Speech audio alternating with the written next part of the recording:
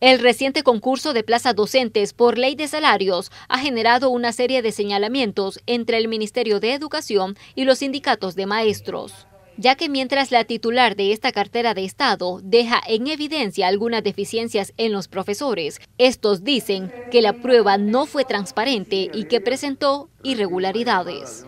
Todo ese proceso demostró que es un desastre, tal cual dice el profesor Villegas. Tiene de todo tipo de problemas, desde el falta del tiempo, la poca conectividad, los problemas de, de conectividad, etcétera, etcétera. Aquí hay privilegiados, como los miembros que pertenecen a una congregación religiosa, a quienes les permitieron hacer el examen a las partir de las 6 de la tarde y no a partir de las 8 de la mañana. Y después poniendo en las redes que ha sido una farsa. Esta prueba ha sido una farsa porque resulta, según ellos, que nosotros le hemos entregado los exámenes a otros maestros. De nada sirve estar llevando tecnología si los maestros no se podían conectar a la prueba porque no podían escribir la mayúscula en la computadora. Ante esto, uno de los puntos en los que ambas partes concuerdan a su manera es la importancia en la formación docente. Que demuestran la deficiencia con que las universidades han estado formando a los, a los maestros. Y debemos de tomar acciones inmediatas para corregir eso porque estamos vulnerando el derecho a la educación de nuestros niños. Tenemos que garantizar que los maestros sean bien formados. Entonces nosotros los maestros que nos sentimos ofendidos con el ataque sistemático que usted hace, Quedamos en espera que dentro de pocos días se presente a la Asamblea Legislativa.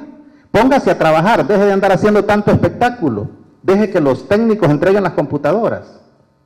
Póngase a trabajar, siéntese, redacte la política pública. La ministra de Educación también planteó la posibilidad que los docentes tengan que realizar la prueba TOEFL, algo que el sindicato de maestros dice podría ser un problema. Pero vamos a exigir que en la formación vaya la aprobación del TOEFL para todos los maestros.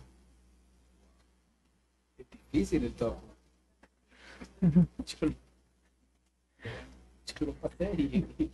Pero no ahora, ¿verdad? Porque sería una locura.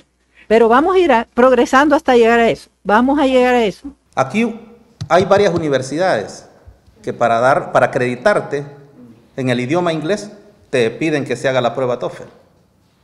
Y eso ha sido un problema serio para que estos alumnos aprueben esa, esa, ese examen.